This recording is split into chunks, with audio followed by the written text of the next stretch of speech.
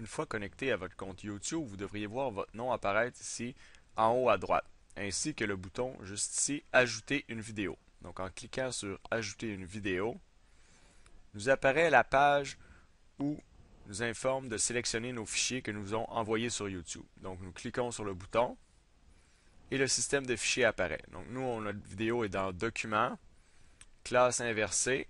Cela peut différer de, votre système de classement et je choisis mon vidéo, tuto vidéo ici et je sélectionne Ouvrir.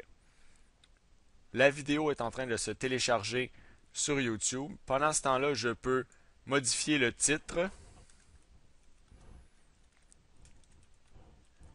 ajouter une petite description de ma vidéo, ainsi qu'ajouter des mots-clés qui permettent d'identifier ma vidéo.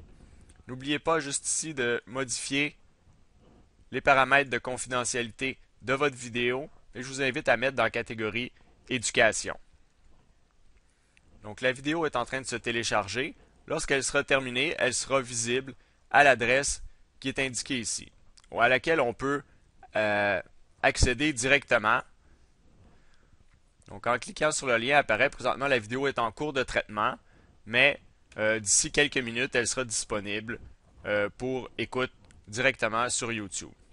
Donc voilà, ce n'est pas plus compliqué que ça d'envoyer une vidéo sur YouTube.